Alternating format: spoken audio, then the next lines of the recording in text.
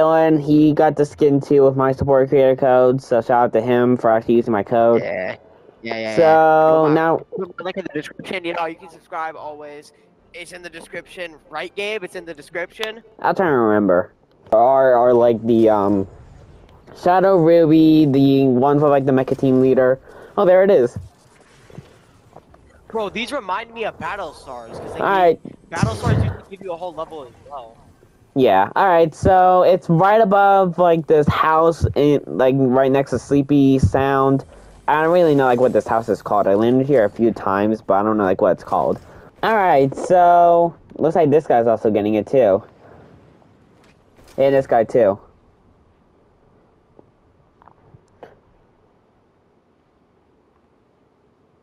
All right. So where is it? It's in this building. I don't know if it's in the building or like. Oh, here it is.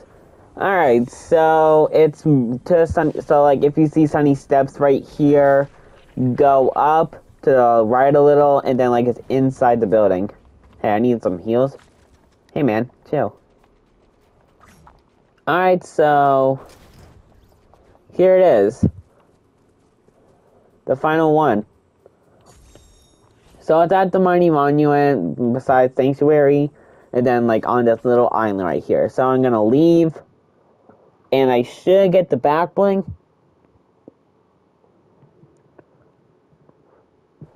Yeah, here it is, a Shattered Wing back bling.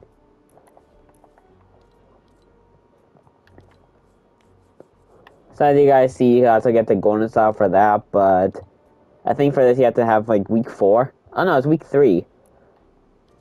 And then next week we get the. Yeah, next week we get uh, um, ramp. Then we then the third week I think we get the. I think I don't even know what we get, but I'm pretty sure next week we get the um, back bling. Then the fourth week we get the skin. Yeah, that's how it goes. So that's it for the video. If you guys want to see me do this next month or next week too for the other challenges, to make sure to subscribe and like. And I'll see you next time.